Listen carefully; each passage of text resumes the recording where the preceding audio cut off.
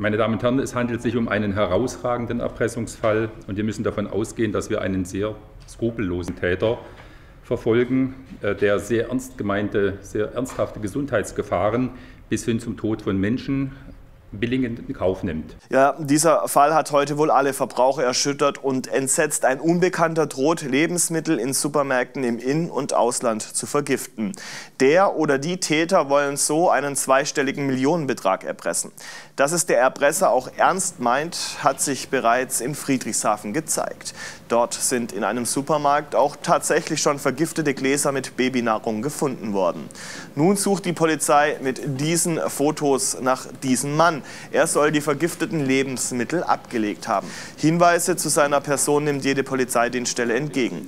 In welchen Supermärkten weitere vergiftete Lebensmittel ausgelegt sein könnten, kann die Polizei derzeit noch nicht sagen. Die Giftausbringungen waren bisher, wie bereits gesagt, äh, in Friedrichshafen erfolgt.